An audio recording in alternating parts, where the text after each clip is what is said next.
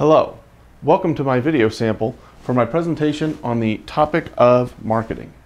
Now this is a topic that can be covered with a wide variety of audiences from the novice marketers to where this is sort of a training process to the more experienced marketers where we would skip over the basics and st stick uh, skip straight to some of the lessons learned, some of the real world experiences, some of the new concepts. And I've organized this presentation on the board uh, similarly. Like I'm, I'm just going to list some of the concepts that we cover just so that you know what is included, but I'm not going to go into too much detail here. This would be the kind of thing that you would do for a training session. And then I'm going to get to things like the mistakes, common mistakes and pitfalls at the end, which is a much more applications based. You know, this would be relevant for a room full of potentially professional marketers. And because I have a lot to say on this, I used to work specifically in this field, I can adjust um, not just the skill up based on the skill level, but also on the time available. I can do anything from a you know 20 minute presentation to really an all day intensive course. Um, I always like to start out talking about marketing by pointing out that there is uh, oftentimes marketing is about finding the right product or service for the customer, but I also always want to emphasize that it's just as important to identify and reach the customer. There are as many businesses fail because they fail to reach the customer as there are because they didn't get the right product or service or value proposition. So with that in mind, let's get started. Let's talk through some of the concepts. I always like to start out by just sort of defining how I think about marketing in relation to some other concepts because it gets thrown in oftentimes people will say that, that you know they're, they're looking to do marketing but if you get to talking to them what they're really doing is the sales or um, advertising which is related to marketing but is oftentimes treated as a different field. I've always been sort of amazed that there's such little emphasis on advertising in most formal business curricula and i think the reason for that is it's sort of considered more of a creative art uh, than the science which is uh, more the marketers consider themselves more of the uh, uh the quantifiers the scientists and then of course the promotion, which, and, and I, I put these markings here because these are all interrelated. So if you're doing a two for one sale, that is both, uh, you know, that might be uh, marketing in terms of the value proposition you're going for. You might be advertising it, or your direct sales force uh, might have to be out there um, promoting it accordingly. But these are all related, but they tend to be treated differently in business circles. When I talk about marketing, I'm talking specifically about determining what product or service you want, identifying which customer to reach, what channel to go through. It's less about, uh, it can get into value proposition, but it's less directly about uh, you know going out and shaking hands and uh, coming up with a sales pitch. So th those, th those are interrelated, but they're often discussed differently. Now let's talk a little bit about, uh, in, in, a regular training session, I talk about the, the P's and the C's. Um, these are just some textbook models. I'll, I'll, skip over them quickly here, but like P's are things like determining the product price and promotion. The C's are things like the channel and the customer. And they're basically just a, a way of listing all of the topics relevant to marketing. Um, I like to emphasize more the value proposition and the value proposition can be a variety of things. It can be, uh, it's effectively what you're offering the customer, what they're getting from your product or service. And that can be economic, you're saving them time or money. That can be uh, more hedonistic, you're uh, making something in their life beautiful. This is an artwork. Um, it can be something more st uh, status oriented. You're demonstrating your status or stature. It can be a luxury product. And frankly, those can all be related. For example, a car is something that can get you to work, which is effectively helping you make money. It can also be something that you are per personally passionate about, you enjoy driving, and it can also be a status symbol. So those aren't mutually exclusive. Also, the, um, the value proposition can be defined relative to your competitors. You can differentiate yourself this way. So for example, you say, well, we're the value brand. We offer you less features, but we do so at less price. So that's a less for less proposition. You can also have uh, uh, more for the same. Look, we're the same price as our competitors, but we give you more uh, more features or, or services or better uh, customer service. And you can also have things like a more for less, which is a great deal for the customer, but it's very expensive oftentimes to manage the fulfillment for. And uh, then finally, there's the value chain, which is sort of, uh, you know, if you look at the uh, raw materials to the manufacturers, let's say we're talking product, to the uh, distributor, to the manufacturer, to the distributor, to the retailer, to the end customer. Uh, we try and figure out how uh, the how much of that and, and what the economics are. We'll get to this in a, in a bit here. Um, where do I have economics? Uh, yeah, right here. but um, of the channel. But that's the value chain. So that's uh, so I'll, I'll end the value proposition on that. Moving on, you can talk about push versus pull marketing. Push meaning you have the channel or trying to push the product, the customer towards your particular brand, your product or services, versus pull, which is where you're advertising and the customer or creating buzz and the customers come in to the, uh, say, retailer asking for your product. And that can be the difference between where you spend your money. You can spend it on advertising, which is essentially creating a pull, or you can spend it in the channel, which creates the push the last point I want to talk about just in general concepts is the uh, way in which you determine customer input. You can do that through customer surveys or focus groups. I have some tips on those. Uh, there are several things that you might want to do uh, with that information. One of the most important ones is segment your customer base. And you can segment by several factors. You can segment it by product. The people who buy this car tend to want these features. You can do it by demography. Uh, you know, males between 18 and 34 tend to want something different than women between 55 and over. Uh, or you can do it by behavior. These are the people who are uh, uh, seeking, or uh, there's also sort of needs related to, to behavior. These are the people who are seeking to just have functional products versus these are the people who are seeking status symbols things like that. And generally speaking, I have listed these in an increasing order of importance. The product, um, if you're if you're segmenting your market by product, your customers by product, you're sort of assuming that there's already a product that they're looking for. And you want to actually, eh, the higher level of thinking would be going after some of these ideas to define the product. And demography might be a little bit more specific than the product, but it's not as complicated as the behavior. So these are sort of increasing levels of sophistication. And there's a trade off that you oftentimes make as you work your way through the marketing plan between uh, the price and difficulty of acquiring this customer input versus the, the quality of it and the sophistication of it. So those are some general concepts that we cover, especially in like a training program. Let's move on to, uh, I'm going to put, talk about three major important things to marketing, brands, channels, and pricing, and then we'll get to sort of the application-based mistakes. So under brand, I start off with my shirt story. Um, we are oftentimes much more influenced by brands than we would admit or frankly even realize or like to uh, concede. There was an, a study done where they had people in a, in a shopping center performing surveys, sort of stopping strangers, would you please take a survey? And the real test was they were wearing different shirts. They were all wearing shirts that were the same color and type of pattern, but some had a branded label on them and some didn't. And what they found is that people are significantly more likely to stop and participate in a survey if the person has a fashion branded shirt. And I don't think that that's something people would really realize. But I, I, start off with that just to sort of show you the importance of brands. We know the explicit, obvious ways, but there are all sorts of subtle motivations that we don't uh, necessarily recognize. So let's talk a little bit about some of the strategies and tools you have in branding. These are really sort of the branding choices. You can have a single brand. All of your products will be under the same uh, major brand, and you will have uh, because you want to, and all of your investment therefore co will cover all of your products. Or you can have a multi-brand. So if you have different behaviors or customer segments you're looking for, you might find that those brands are inconsistent. So for example, a car company might have both a luxury brand and a more utilitarian brand. So that's the single brand versus multi, and there's a trade-off there.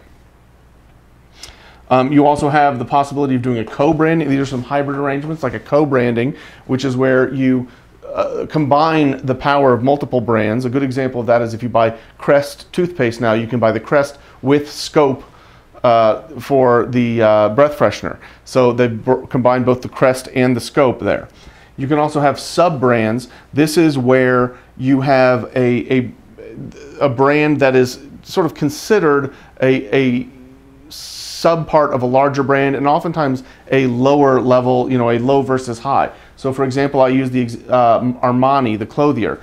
Uh, the Armani brand is like a very premium suit maker, but then they have the Armani Exchange, which is a lower end, more accessible brand. The prices are much lower and the, the clothes are less uh, uh complicated. And that's oftentimes a very difficult thing to manage. Uh, I have an example of when I was working in the printer industry and HP was being uh, chipped away at by uh, cheaper printers, which I happen to be uh, employed by. But the what they did is they brought out an Apollo brand, which was below the HP brand, but they really had a problem uh, branding it because if they put HP on it, people would buy the lower end rather than the higher end because you're getting an HP either way. But if you separate the brand, uh, then all of a sudden there's no value proposition in the lower brand because uh, they had to differentiate it from the more premium brand and they didn't have much of a value proposition because the challenger brands like the one I was working for were offering the same HP specs for less money. What was Apollo offering? Well, they couldn't make it the same specs for less money because they'd be competing with themselves. But they couldn't make it less specs for less money because they would be at a disadvantage versus the challenger brand. So there's a real fraught with uh, potential conflicts and, and uh, cannibalization, as it's called there, when you're making sub-branding decisions. Also, there is the uh, private label brand or the no brand. These are like a generic. These can be done a couple of ways. Private label means that you are supplying other people who are able to put their own brand on it, and this sort of gets into channels, which we'll get to momentarily. And the no brand uh, is either generic or it's a house, uh, it's a brand that is not effectively no brand because it's not considered premium. You see a lot of this in the grocery business. Interestingly, a lot of the private label brands, the house brands, the the generic store brand is uh, manufactured by, is by the brand leader because there's some economies of scale in it and they just don't uh, let them put the same formula or the same label on it. Uh, another example of branding tools is you can think about it as the challenger versus the leader. I gave you an example just a moment ago about the uh, uh, HP printer example. You can also think uh, there are a lot of different strategies that you would adopt as the challenger versus the leader. So for example, the challenger might want to um, might want to define the performance of the product or service based on some benchmark, some comparable measure. So, for example, uh, whereas the leader might not, because they're the leader and they don't want to turn this into a specsmanship game. They call it specsmanship, as in competing over specifications, because then the challenger can easily get the advantage. So, if you look at the Brita filter uh, for the water, um, when PUR Filters came out, they said we take out 99 some percent of uh, impurities. Brita didn't want to compete on that level because then it would be 99.4 versus 99.5 versus 99.6, and they just kept it as taste. They kept it nebulous.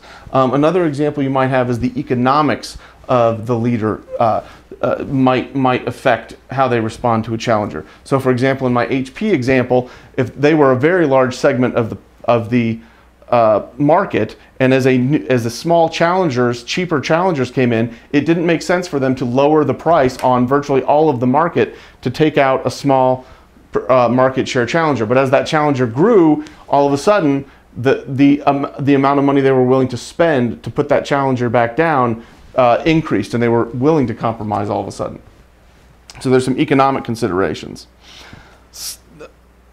Also, under branding tools, you have the uh, I call it the just say no, or you have to learn how to say no to things. This is um, oftentimes you'll be brought as a as a marketer opportunities for deals, uh, different channels, maybe discounting and it'll move the needle and boost your sales, but you want to consider how that affects your brand. For example, good luck finding a discount on Louis Vuitton handbags. Louis Vuitton will destroy their inventory before they discount, whereas other luxury brands might be more willing to do so. Um, and the reason for that is they want to preserve that premium brand, that aspirational cachet. They don't want, they, they think it's beneath their brand to be competing on price. And the last one I want to talk about here is the uh, question of who owns your brand. Uh, it's very common for marketing executives, confident marketing uh, people, ambitious, perhaps uh, with healthy egos, to think that they own the brand and they're going to tell the consumer uh, what what the brand represents, and because because they're paying for the advertising. Um, what one of the executives at Coca-Cola once said is, you have to accept as a marketing executive that the customer owns the brand. It is up to them to decide what it means to them and whether your message is consistent with that meaning. I actually have a little bit more, I think that's a great way of thinking about it just to sort of provoke some out of the box thinking, but I think of it really as a relationship. And uh, because, you know, when you're in a relationship, you get to decide what the relationship means to me, to you, but you also have to uh, understand that the way the other person feels about it affects it as well. And you can't necessarily force yourself on to, to define the relationship as you want it, but neither do you have to fully accept it as that someone else defines it. So let's that's uh, some information on branding, some concepts on branding. Let's talk a little bit more now about channels. And for those of you who don't know, channels is the uh, essentially the path to market. How do you how do you sell to your customer? So you can sell directly. I go to uh, the website of the manufacturer and purchase the product directly, or the service provider, or I can do it indirectly, which just means somebody manufactures the product and then sells it to a distributor who sells it to a retailer who sells it to a customer, or or uh, there's there's no distributor. They take out the middleman and they sell direct to a retailer who sells it to you. I'm using product examples, but there's analogs to uh, services as well. And and the direct versus indirect choice is a big uh, question that you have to uh, manage. And if you tend and if you uh, there are economic considerations for that. For example, if you're going direct, you don't have to pay your channel, but at the same time, you don't. You have to either expand the uh, availability yourself. You have to pay for the storefront uh, with a company-owned store. Again, using the product example, or you have to uh, uh, come up with a way to uh, reach your customers without going through a channel, without a retail store at all, maybe a web presence. Now let's talk a little bit about some of the channel conflict. This is a classic example of what do you do when one channel uh, has an advantage in another one and you want to distribute in both. So some examples I will use here are where there's a co conflict in cost. For example, when HP was facing uh, Dell as a major competitor for PCs, they had a problem because their main channels, their volume went through retail stores like Best Buys. And they had to build the product and put it and ship it to the store and have it sit there in inventory. And then Dell came along and said, "We'll just we won't even make your PC until you order it. It's just it's just going to be parts at our suppliers until you order it. Then we'll build it and send it to you directly." And they started to grow, and HP uh, Dell did, and HP had the problem of, "Look, we can't just go. Uh, we're concerned that if we go direct." We will have a conflict with where all of our, essentially all of our current volume is with the Best Buys. They won't like that. But then if we don't go direct, we have to have all this inventory and we can't compete with uh, Dell on price because they have a cheaper model. So that's an example of the cost driving a, a channel conflict. Also, um, some online issues nowadays. We have the, the issue of showrooming, which is where I might go to Best Buy because they paid to put it in inventory and I see what I want to buy, and then I go home and I order it directly online from someone who hasn't, uh, doesn't have a retail presence and doesn't have the, uh, the infrastructure costs and the inventory costs and that's what gives the customer the best of both worlds. But if you're competing with that as a retailer or through a retail channel, that's the worst of both worlds for you. Also, there's the shipping and tax issue. Uh, you know, Best Buy, you won't have to pay for the shipping, but you will have to pay for the sales tax. Whereas if you buy from Amazon, uh, you do have to pay for the shipping, and they oftentimes get around sales tax. That's this is sort of an area in flux at the time of this recording. The shipping, however, um, you can buy for a fixed rate you can get free shipping on all of your Amazon purchases, and that drives loyalty. That's one of their new propositions. So those are some issues on uh, channel conflict. Let's talk uh, also about the relationship. If you're, and I mean specifically here the customer relationship. If you're working through a channel, you have a problem in that uh, they, the channel might own the relationship with the customer, whereas if you're going direct, you own the relationship with the customer. And so if you get into a feud uh, with your channel, they can they own the relationship. They'll just switch that customer over to a competing product or service. Whereas if you own the relationship, they won't be able to do that. And then lastly, uh, just the economics of channels. Uh, we talked a little bit about some of the economics with the PC example. another example of this is in the grocery business, where oftentimes manufacturers will pay the store for advertising and give them bonuses for selling more of their product. And what ends up happening is grocery is almost a real estate business. It's almost like the grocery store just builds the uh, the location in the neighborhood, and then the uh, the retail, pardon me, the manufacturers and the suppliers pay them to lease that space so that people can have availability of their product. So there's different economic models in channel as well. Now let's talk about pricing.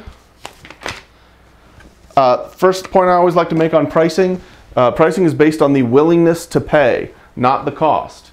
It's a common common confusion. Uh, so for example, if you go to a movie theater and a Coke costs $5, it did not cost $4.80 worth of cost. It cost you know, a nickel, a dime, uh, but, but because you're there, you're willing to pay a premium. And so they take that money, rather than putting it in the cost of the product, that money is actually going towards the fact that they built this theater and the person who's working there, and their profit margin comes out of that. And that brings me to my next point, which is different models have uh, cost uh, in, in the, the pricing structure. So for example, if you're doing a product or service, um, there, sometimes the cost is in the product or service. The, the, uh, you know, if you're buying something that has a manufacturing cost of $10 and they're charging you 12, obviously it goes into the product cost. But a good example of luxury goods, uh, luxury goods serve a good example where the cost is not in the product but in the marketing. So high-end apparel, they're not, you're not paying with that price, you're not paying for the cost to make a garment. They're actually pretty inexpensive now. Uh, be, what you're paying mostly for is the marketing. They took out an ad in Vogue, and, and uh, the, the spirits industry works this way as well. Jack Daniels, there's more money in the Jack Daniels brand development and sales and marketing than there is in the actual uh, distilled, distilled grain, essentially. Another issue on pricing is you got to decide when and how to charge. This is very relevant to a lot of the uh, technology companies now because if you start charging early, the advantage is you have to use less venture capital, but it creates a price, what's called a price umbrella, where now you're charging, somebody else can come in and with their venture capital funding undercut you by continuing to give it away for free, and they can leapfrog ahead of you because people prefer the free service. The other question you have to ask is how do you charge? Do you charge the customer a subscription? Do you charge them uh, or, or, do you charge advertising? Or do you charge for the information that you're selling about the customers that you gather? Those are still technology examples. Let me use a non-technology example. There is the uh, issue of newspapers, and they ran into big trouble because newspapers used to essentially charge, the how they charged was through the advertising and through the classified ads. And that would subsidize then the, uh, the cost was actually in, the, but the cost was in the news division and paying reporters to go to the courts and, and take notes and to, to write the story and do the interviews. And the problem is uh, pl places online like Craigslist came along and knocked out the classified advertising. So now newspapers are struggling because they still have the cost, but they've lost the revenue from where they used to gather it from. Uh, so that's when and how. You have to decide when and how to charge. You also have to decide what to charge. And that is really tricky because it's hard to determine ahead of time. Uh, for example, ask, you know, if it's an existing mature market, you can just look at the, the current value propositions. Um, but you could, uh, if not, you're, you're, uh, you're sort of uh, in the dark a bit and you might have to do some of these customer surveys that we talked about, trying to get customer input. And the problem is they don't have the same incentive to give you an honest answer. They always want to lowball you so they can save more money. Would, how much would you pay for this? Well, you might find that their, their statements don't necessarily match their behaviors. Um, and, and, also very important that is the ability to price discriminate. Sometimes you sell something and you sell it to everyone at the same price. But if you can get into an industry where you own the relationship directly and you can gather information about those people's behavior, you might find that some people are more willing to pay than others. And that's called price discrimination. Kind of an unfortunate term because discrimination has a negative connotation. In business, it's actually very valuable. And uh, let's, let's move on from that. Uh, also wanted to point out when you're deciding what to price, err on the side of pricing high because it's easier to lower price than it is to raise. Lower pricing people like because, hey, I'm getting a better deal. Raising prices uh, tends to aggravate people because they're, hey, this was only worth some, something else. Yes, this was worth less yesterday. And there's also some pricing plateaus that you have to consider. One of them is uh, psychological plateaus, like that's just not, that's too much money. That's not worth it. I think the razor blade industry is facing this right now because uh, Gillette has added technology and more technology and more blades and more lubricating strips. And now they've gotten to the, and uh, up to a certain point, people didn't care because they were really functionally better products. But now they've started gotten so aggressive on the pricing, people are starting to consider opportunity, other opportunities. And like I said earlier, they, they now have a pricing umbrella that someone can undercut them with. And the last one is approval points. If you're doing a business to business, you're doing a direct sales, you're, you're negotiating contracts. Um, some people only have the, you know, anything over $10,000 I have to get my boss's approval for. So you charge $9,999. Or if it's $20,000, you break it up into two different payments of $9,999. So with that in mind, we've talked about some of the major issues. Uh, I've given you some samples, although there are more for a live presentation. Let's talk about some of the common mistakes. the number one mistake uh, that I've seen in marketing is they neglect to consider the return on investment. You know, business is all about uh, the four major top things, which I talk about in my finance presentation. It's the investment, the return, the time it takes, and the risk that you assumed. And the problem is, if you look at marketing measurements, the success for marketing is oftentimes things like unit volume, market share, uh, growth, and revenue. And you'll notice that none of these things are investment, return, time, and risk. And so the, oftentimes the, the motivations of marketing are disconnected from the true business rewards. And as a responsible manager, you got to close that gap. One of the reasons I think it exists is because it can be hard to track. For example, if Coke buys a Super Bowl ad, how many incremental use, uh, units of Coke could, did they sell? It's very difficult to quantify something like that. And you oftentimes have to do some experimentation and isolate some geographies and, and do some, uh, to try and figure out what moves the needle and what doesn't. Um, also, there's a common issue that because business doesn't always look at return on investment for marketing spend and advertising spend, the, the executives will game this system and will throw so much money and resources at a product or service that they're responsible for. And then when it grows share or grows unit volume, they'll say, look, I did a great job. But they've created a self-fulfilling prophecy by over-investing. Another common mistake, let's change uh, gear here a little bit. Um, very common to assume that you are the customer, you as the marketing manager or the business person. And it's important to point out that generally speaking, you have more knowledge of your product than your customer does because you deal with it all day, every day. And to them, it might be kind of a minor issue. Um, and also, you might have more passion about it because you are so interested, you've dedicated your career to this. And other people might not care. I worked in the printer business, as I mentioned earlier, and we tried all sorts of things to make printers exciting and new and innovative. And the truth is, Uh, people really don't aren't that interested in thinking so much about their printers. It's a lesson we learned the hard, expensive way. Also, another mistake is you always go after the large growing segment, whereas you would be better off in terms of profitability by isolating the most defensible segment where you have an advantage and where it doesn't make economic sense for other people to challenge you. Good example of this is the Dodge Ram truck that was redesigned in the early 90s. They went to a revolutionary new front end that looked like a like a big rig and it was very divisive. They they did a survey that said about 30% of the market really liked this and about 70% hated it. It was way too revolutionary for them.